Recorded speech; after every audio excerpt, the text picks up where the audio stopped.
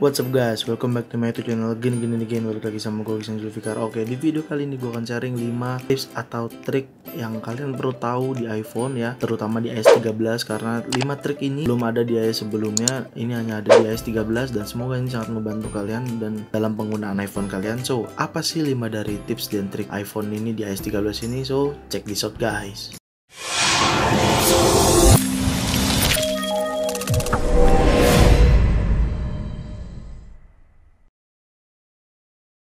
Oke, sebelum melanjutkan ke video, kalian subscribe dulu channel ini dan nyalakan loncengnya untuk mendapatkan notifikasi.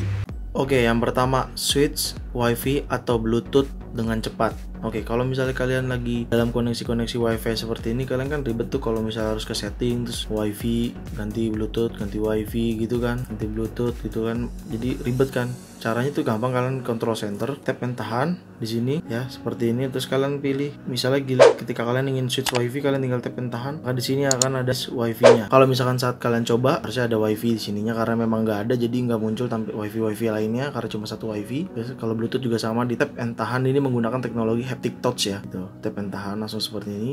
Ya, kayak gitu guys. Oke. Okay. Oke, okay, yang kedua bypass limit download di App Store. Kalau sebelumnya itu kan di S12 di saya sebelumnya itu cuman 200 mega kan dan harus memerlukan WiFi koneksi WiFi. Dan seperti di video gue yang pernah gue bahas sebelumnya di sini videonya ya. Di sini videonya kalau kalian mau nonton, di sini juga bisa klik linknya. Nah, kalau di video sebelumnya itu uh, di gue kan ngasih tahu kalau misalnya download ada caranya di S13. Itu cara buat kalian pengguna S12 ya. Kalau sekarang di S13 sudah ada pilihannya. Misalkan kalau misalkan download kayak gini nih pakai kuota, dia akan muncul pop-up. Nah, seperti ini nih kan bypass bypass gimana caranya download langsung atau letter on wifi kan. Mana tuh caranya? Caranya adalah kalian pergi ke setting. Ya setelah kalian pergi ke setting lalu kalian ke app store nih ya setelah ini kalian pilih yang ini. Ini di always allow.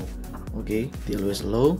Pilihan ini udah gitu back. Balik lagi ke App Store dan dia akan auto download menggunakan kuota gitu loh. Kalian bisa coba aja langsung karena kuota gue lumayan. Misalkan kalian bisa ini dia tidak akan muncul tampilan pop up seperti lagi tadi. Dan ini menggunakan koneksi internet ya dan ini langsung download. Gitu guys caranya. Oke okay, next. Next yang selanjutnya adalah bikin screenshot page jadi PDF mana caranya? Oke. Okay. kalian ketika misalnya lagi buka tampilan website seperti ini ya ini gue contohkan buka pakai Mac websitenya. Page ini nih mau jadi sebuah artikel jadi PDF gitu ya. Kalau kalian pengen seperti misalkan kan artikel yang ini kan panjang nih. Nah ini mau jadi sebuah PDF langsung. Bisa misalkan kalian tinggal pilih screenshot. Ya saat screenshot kalian pilih ini terus kalian pilih page. Nah di sini jangan dia bisa jadi save PDF misalkan kalau mau kalian tandain juga bisa. Misalkan di bagian sini tandain oke okay. setelah itu kalian dan lalu save PDF to file atau delete screenshot gitu dan ini akan langsung save ke folder file kalian ya gitu loh. Langsung ada. Dan itu filenya jadi PDF kalian bisa kirim ke teman-teman kalian atau ke siapa pun PDF tersebut. Kayak gitu guys caranya. Oke okay, next. Disable location dalam foto. Jadi kalian saat kirim foto tersebut foto tersebut tidak ada tidak ada metadata locationnya. Seperti itu guys.